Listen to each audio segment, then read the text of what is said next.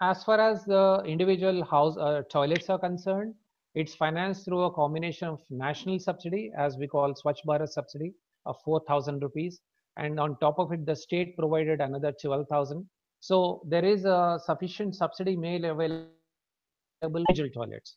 When it comes to the public toilets, the city were, uh, uh, opted for complete public-private partnership route.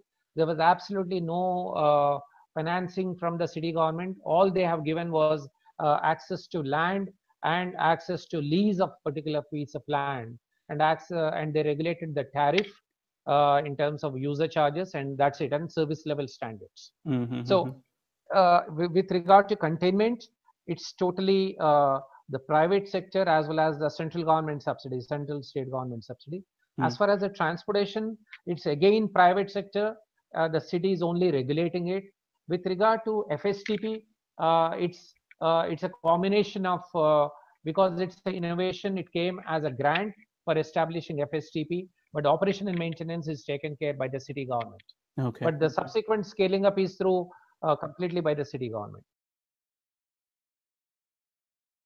originally it was funded through a grant process. So as habib mentioned um, the tankers were donated by unicef and we were able to provide some marketing support through uh, bill and melinda gates grant. So it was a um, a donation type basis to begin the work certainly needed buy-in from the city authorities as well. So they put in their time and resources. But now that it's operating fully in dhaka uh, we're providing some additional marketing in order to uh, ramp up in order to replicate the work. But um, on an opex basis the entrepreneur is running he's running in profit and also within the city authorities their support they're receiving a lease fee as well. So there's there's two different uh, income streams. So actually that's actually operating now on a really solid basis